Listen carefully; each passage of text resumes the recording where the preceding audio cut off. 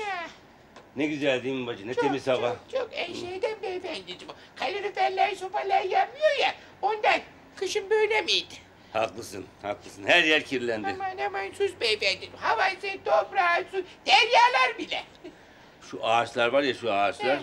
Havayı temizleyen onlar işte. Evet. Bunu düşünmezler de 30-40 yılda yetişen o canım ağaçları 10 dakikada devir verirler. Haklısın. O apartman yapma sevdasından. Ha. Daha taş apartman oldu. Nefes alamıyoruz. Aa bacı, Ne oldu? elime uğur böceği kondu. Ay canım. Şunun güzelliğine bak. Ay çünkü sakın kovmayın beyefendiciğim. E, Şey niye tutun içinizden? Bir taraftan da uç uç böcecik sana telli pabuç alayım değil. Olur mu? Hadi avaz bağlı. Hadi selametle. Şunun güzelliğine bak. Ay canım.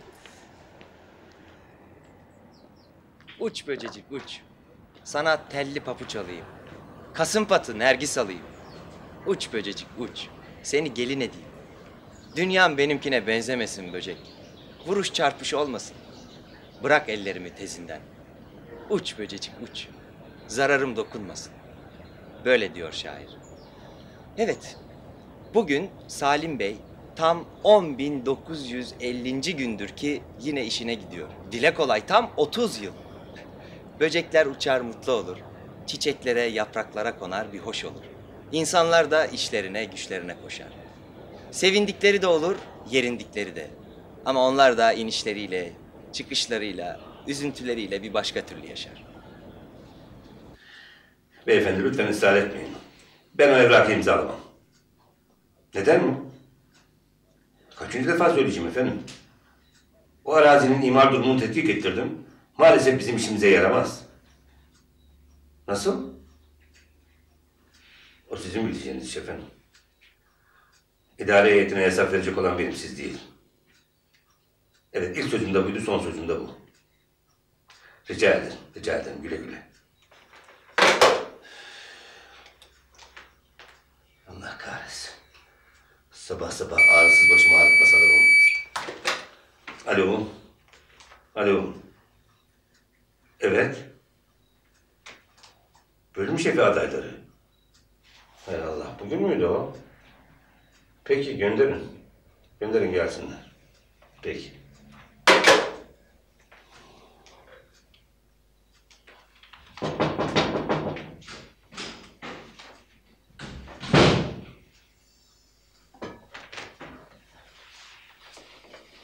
Merhaba, Merhaba. Hoş geldiniz. Buyurun. teşekkür ederim.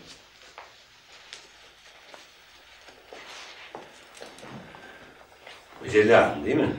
Nasıl? Mücella değil mi? Ah, özür dilerim. Herkes bana kısaca Müco dediği için bir anda intikal edemedim. Evet, Mücella. Evet.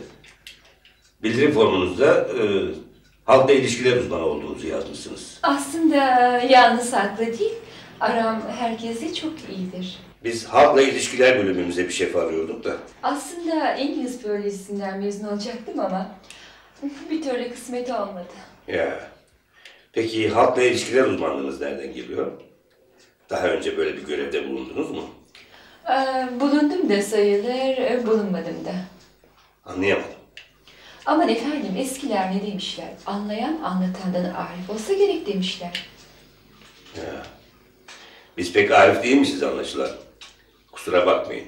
Aslında ben halkla ilişkiler konusunu güneydeki otellerin kulüplerinde öğrendim. Ancak ah, benim çalıştığım otellerde rezervasyon yaptırmak hiç mümkün değildi. Neden? Hiç boş yer bulunmazdı ondan. Evet. Yalnız bizim işimiz otelcilik değil biliyorsunuz. Biliyorum ama neticede iş gelip halkla ilişkileri dayanmıyor mu? Bir sigara yakabilir miyim? Buyurun. Ee, aslında Evet. Dosyayı inceledim Fethi Bey. Sen ne diyorsun bu işe? Vallahi Avni Beyciğim, e, bence bu arazinin fiyatı son derece hesaplı. Hatta okazyon derim. Zaten patron da böyle istemiyor. Evet, giderken kendisi de öyle söylemişti ama biliyorsun Salim Bey bu evraka imza koymazsa yönetim kurulunda güç duruma düşeriz. Adamlarla temasım var biliyorsunuz. Bence Salih Bey af buyurun ama öküzün altında bu sağlıyor. Canım Salim Bey dikkatli bir müdürümüzdür. Ben de biliyorum ama hatırlarsınız dört yıl kadar önce başbayimizin işine son vermiş, sözleşmesini yenilememişti. E o zaman da haklı değil miydi? Biliyorsun Adam malımızı piyasaya sürmüyor, fiyatların yükselmesini bekliyordu. Ama sonra ne demişti başbayimiz? Salim Bey benden rüşvet istedi. Vermediğim için bana böyle davranıyor dememiş miydi? Canım o söylentiydi. Aman Hamdi Beyciğim rica ederim. Meşhur laftır. Ateş olmayan yerden duman çıkmaz derler. Dur canım, dur bakayım, dur dur, dur Allah aşkına. Yani şimdi benim midemi bulandırmaya kalkma. Yani sen şimdi Salim Bey'i İçin olmasın. Selam para, kelam para dönemindeyiz. İnsan kendi işinde 30 yıl namusuyla çalışır ama sonunda yüklü bir miktar karşısında pekala şeytana kapılı verir. Yok canım, sanmam, sanmam. Ben Salim Bey'i çok yakından tanırım. Son derece dürüst bir aile babasıdır. Ama 5-6 milyarlık bir iş bu. Ee, Pekala arazi sahiplerinden %10 komisyon istemiş olabilir veya istemeye niyetlidir ki bu bir kalemde 600 milyon eder. Ee, Kayıt yok, kuydu yok. Alan razı, satan razı. Üstelik vergisi de yok, temiz para. Yapma Fethi Bey, yapma Allah aşkına. Yani Ben söylemiş olayım da sonra madem ki hissettin neden uyarmadın demeyin.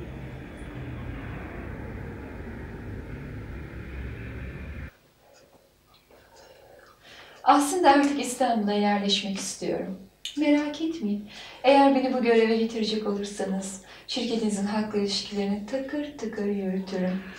Ama hanımefendi- Söylediklerinizle başvuru formunda yazdıklarınız birbiriyle çelişiyor. size diş kurukluğuna mı uğrattım yoksa? Pekala mesele o değil. Adresiniz de mevcut. Eğer bir şey olursa size bildirilecektir. Olumlu ya da olumsuz. Aman efendim bu çok klasik bir tavır. Ben diyorum ki burada hiç rahat görüşemiyoruz. Anlıyor musun? Yani diyorum ki bir yerlerde bir şeyler istek.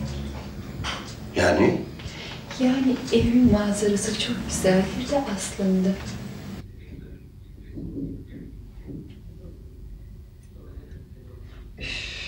Üf Salim. Bunlar artık berberlik olmuş. Benim işim değil ki. Sen bir türlü berbere gitmeye vakit bulamıyorum ki. Sen her zamanki gibi bir şeyler yapıver işte. Aslında şimdi toparlanıp bir berbere... Aslında ne? Bu aslında kelimesini kullanma Allah aşkına. Aa, ne oldu? Ne dedim ben sana şimdi? Ne var senin? Niye bugün bu kadar sinirlisin? Ha? Sinirli değilim. Sinirlisin. Değilim. Söyle bana sinirlisin. değil. Ne oldu? Söyle. Hadi, hadi. Canım bizim bölüm şefliklerinden bazıları minhal edildi. Evet. Eleman için ilan verdik. Evet. Başvuranlar oldu. İşlerinden üç tanesini mülakat için çağırdık. Bu sabah biri geldi. Bir kadın. Evlere şenlik. Aslında şöyle oldu. Aslında böyle oldu. Her lafın başında. Aslında ben şöyleyim. Aslında ben böyleyim. Ne var bunda sinirlenecek bu kadar?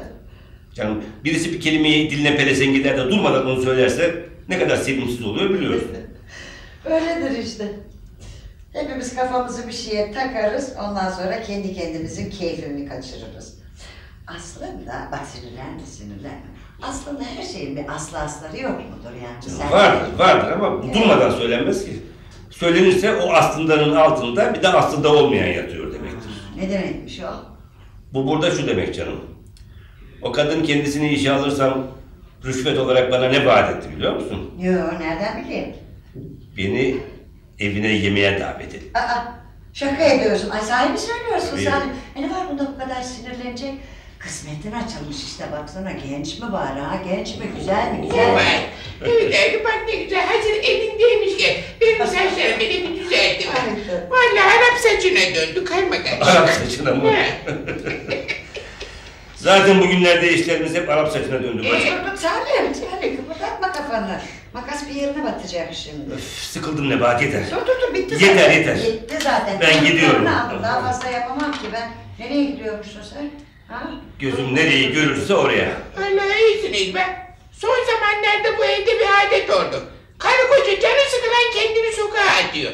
Peki ben ne yapacağım beni düşünen yok. Sen de çık dadıcığım, sen de. Tamam. Şu çarklarım eskisi gibi dönse size bir sorarım ama dönmüyor ne yapayım. Doğru da kızıyorum ama. Ay bir gün demedi bana. Bacıcım gel şu arabayı atla da Çamlıca'ya çıkalım beraber bir alim ağabeyleyelim demedi. Çamlıca değil o bacı. Göksu, Göksu. Hadi. Ama artık orada da alemi ağabeyleyebilir misin, eyleyemez misin? Orasını Allah bilir. Güle güle canım. Allah'a ısmarladık. Güle güle. Güle güle gecikme olmaz mı?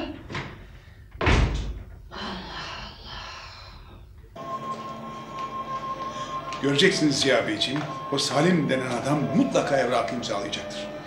Öyle söylüyorsunuz ama Fethi Bey son telefonda kesin konuştu. Hatta ondan sonraki telefonlarımda da hep sekreterine yok dedirtti. Muhakkak bir şeyler bekliyordur. Hiç sanmam. Nereden biliyorsunuz? Biz de adamı kendimize göre araştırdık. O taraklarda bezi yok. Araya koyduğumuz biri vasıtasıyla imalarda bulunduk. Oralı bile olmadı.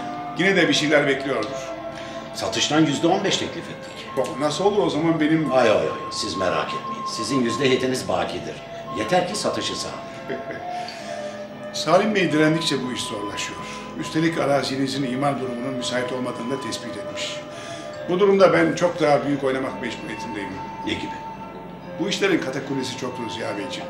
Eğer Salim Bey'e katlettirebilirsek ve şirketin sizin arazinizi almasını sağlayabilirsem benim komisyonum o zaman yüzde yediden ona çıkar. Bu biraz fazla değil mi? Fazla olur mu? Eğer Salim Bey bertaraf edilirse ona vereceğiniz komisyon olduğu gibi cebinizde kalacak. Bu en azından 900 milyon demektir. Bunu yapabilir misiniz? Komisyonumu almak için yapmak zorundayım. Hatta ben önceden tedbirimi aldım bile. Hem elimizi çabuk tutmak zorundayız.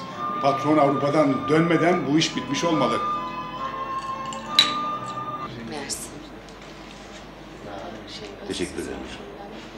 Evet baba. Şaştın değil mi? Seninle burada buluşmak isteyişine. Ne halim evde konuşamazdım bunları. Aa, asıl şimdi merak içinde kaldım. Hayrola baba? Evdekiler de Doğan'da hiçbir şey bilmemeli. Mesele nedir? Yani biliyorum seni de heyecanlandırmak doğru değil bugünlerde ama hukuki bilgiye ihtiyacım var. Peki ne babacığım ne? Bizim şirket güneyde yeni bir tesis kurmak istiyor. Uzun zaman arazi arandı. Sonunda uygun hesaplı bir yer bulundu. Hesaplı dediğim gene 5-6 milyar civarında. Oo büyük bir arazi öyleyse. Ve büyük ve önemli bir yerde. Mimar durumu müsait olsa su içinde 10 milyar eder. Zaten ben önce oradan kuşkulandım. E, Sizinkiler niye almak istiyorlar öyleyse? Arazi sahipleri biz imar işini hallederiz diye bizim patronunu ve yönetim kurulu başkanını da ikna etmişler. O civarda da bundan uygun ve ucuz arazi yok. Siz karşı çıktınız herhalde. E, elbette. Ortada böyle büyük rakamlar dönünce ondan çinlenecek olanlar da nasıl hemen devreye girerler bilirsin. Girdiler mi? Hem de nasıl. Birkaç yıldır benim yerime göz dikmiş olan Fethi adında bir ikinci müdür var. Sanırım önce o sıvadı kolları. Yani günahını almayayım ama tahminim böyle.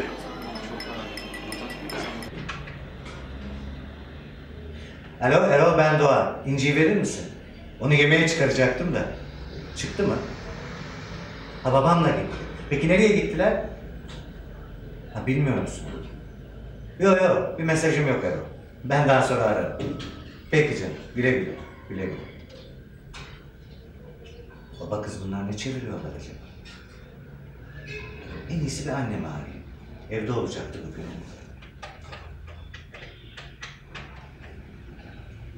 Alo anneciğim ben Doğan. Yok yok öylesine aradım. Anne bir şey soracaktım. Babamın nesi var? Hayır arabada pek düşünceliydi de sordum cevap vermedi. Bilmem. Bilmiyorum ki oğlum. Şirkette mi bir problemi var acaba? Dün akşama doğru çıktı, iki saat sonra döndü eve. Allah Allah yeni adetler mi çıkarıyor? Nereye gittiğini de söylemedi. Anneciğim bak bir şey söyleyeceğim ama aramızda kalsın. Demin İnci'yi aradım. Babamla buluşmaya gitmiş.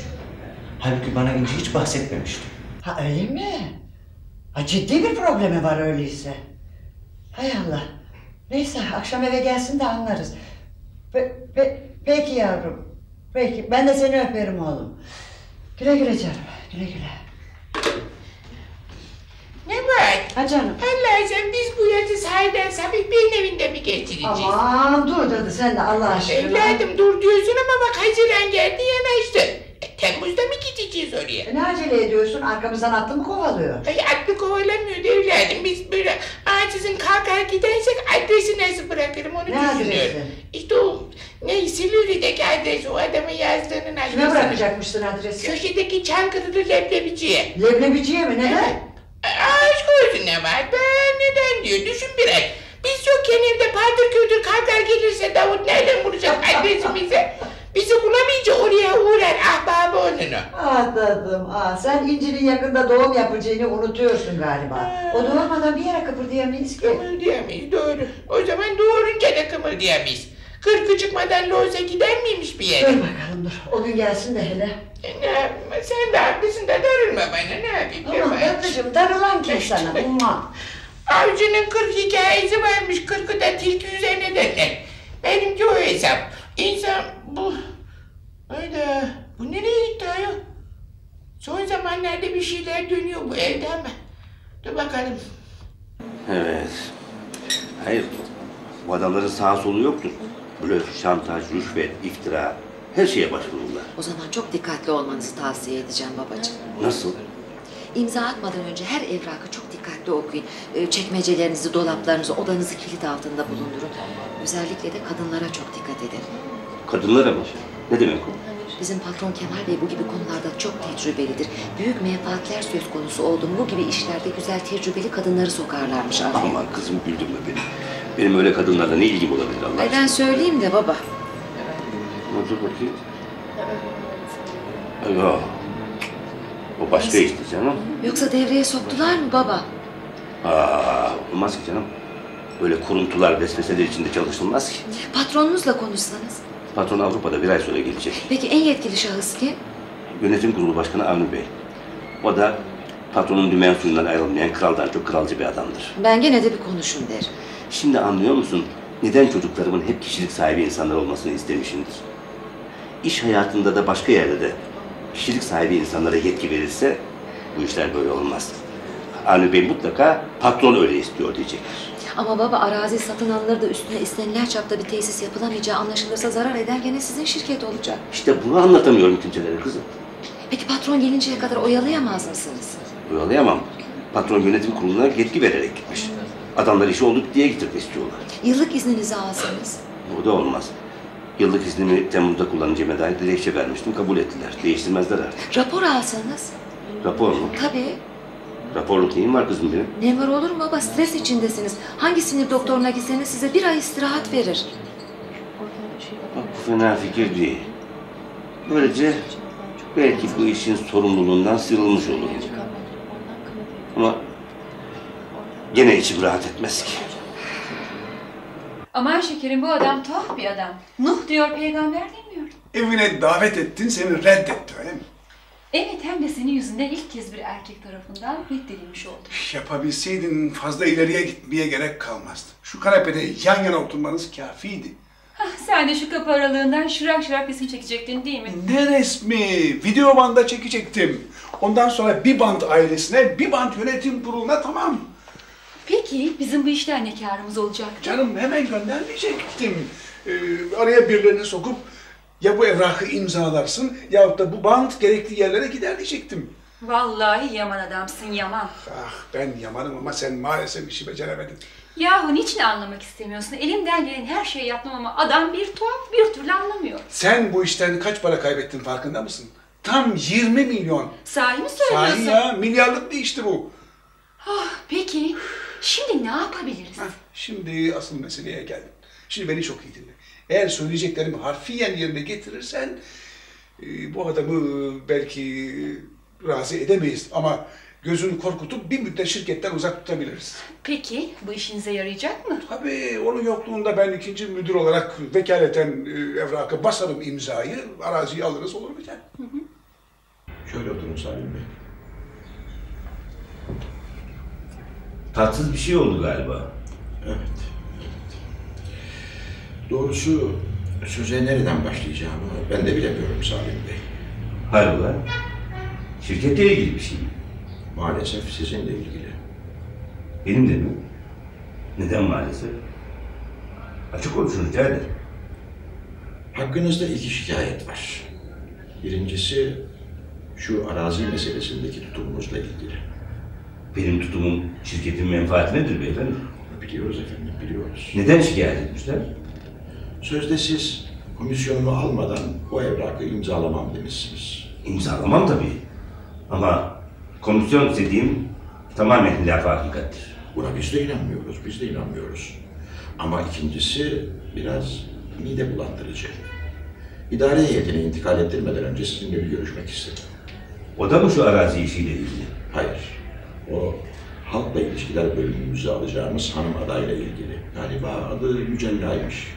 Mücella. Ha şu. E, neymiş şikayeti? Onu bu iş için yeterli bulmayış mı? Beni yemeğe davet etti. Teklifini kabul etmeyince de beni işe almadı diyor. Yazılı başvurusu var. Külliyen yalan. Formada yazdıklarıyla ifadesi birbirini tutmuyordu bu bir. İkincisi, onu değil halkla ilişkiler şefi, basit bir daktilo olarak bile alamazsın bu şirkete. Salim Bey, çok mu güzel? Güzelliğinden çirkinliğinden bana ne Avni Bey? Ama bu mesele ilkinden ayrı değil. Anlayamadım. Bu kadın da arazi meselesinin bir parçası. Hadi canım. Salim Bey, anlaşılan bu mesele sizin sinirlerinizi iyice bozmuş. Her şeyin altında böyle komple aramaya kalkmayın lütfen.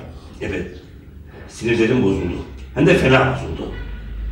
30 yıllık şerefli meslek hayatımda ilk defa böyle bir kepazelikle karşı karşıya kalıyorum. Siz onlara inandınız mı abi bey? Anlatmayacaktım size ama artık burama kadar geldi. Meğer sen neymişsin be baba? Hani Allah kuru iftiradan saklasın derler işte vallahi bu. Nazar değdirirler ne bak bakma yüzüme. Vallahi lazım nazar. Gözlerini yiyorlar bizi. Doğrusu tatsız bir durum. Yok onu da öyle de demeyecektin Nebahat. Böyle bir derin nefes alacaksın. Bu da geçer yahu diyeceksin. Salimciğim, patronunu bulamaz mısın? Paris'te kaldığı otelin numarasını biliyor musun canım? Ee, Ben olsam hemen şimdi açardım telefonu. dur canım dur hemen şimdi telefon edilir mi? Biraz düşünelim hele. Bu saatte arayamam zaten canım. O zaman yarın sabah. Evet bana kalırsa telefonu bilen bırakın. En iyisi kurşun döktürmek. Daha iyisi var. Giderim aşağıdan şimdi tütsümü alır gelirim. Hepinizi bir güzel Aman, tütsüler. Aman aman Yapma. kimi istiyorsan onu hemen yapma. yatmaya gidiyorum. Hadi iyi geceler. Hadi iyi geceler. geceler. İyi geceler dadıcığım sana da. Peki Salim, rapor alamaz mısın? Rapor mu? Ha. Bir hukukçuya danıştım, o da aynı şeyi söyledi. Aa, dur dur canım, dur. Ben bakayım. Efendim, buyurun efendim, uğurlu giller. Nebahat Hanım'la mı görüşüyorum? Güzel. Lütfen şimdi beni dinler misiniz hanımefendi? Kocanıza söyler misiniz beni rahatsız etmekten vazgeçsin? Ah, Artık dayanamıyorum. Ben mi? Ben mücella, mücella derseniz o anlar. Yo ben de anladım kızım, ben de anladım. Ama bu yaptığınız biraz tuhaf değil mi? Biraz çocukça, hatta biraz gülünç değil mi? Üstelik de yararsız. Hem sonra kocam böyle bir işe kalkışmışsa bile kazara, bence onu kutlamak gerekmez mi? Nedenmiş o? E tabii ya. Düşünsenize bir kere e, kocam bu yaşına rağmen, e, bunca işine, gücüne, gailesine rağmen böyle bir şeye vakit ayırabiliyorsa onu kutlamak gerek. Ben şimdi telefonu kapatıyorum ve gidip kocamı kutluyorum. İyi akşamlar, güle güle. O kadındı değil mi? Evet o kadındı. Aslında zavallı bir şey galiba. Ama bizi aptal zannediyor. Ona kızdım işte. Aa, aa ama aa. Kim bilir belki de bahtsız bir çocukluk geçirmiştir değil mi? Paranın kokusu dağılınca nasıl da aç kurtlar gibi saldırıyorlar görüyor musun? Ee, ne demiş? Para, para, para. Hadi. Şimdi her şeyi unutalım. Güzel bir uyku uyuyalım. Gün doğmadan meşime-i neler doğar. bu da geçer ya. Oo, bu da geçer.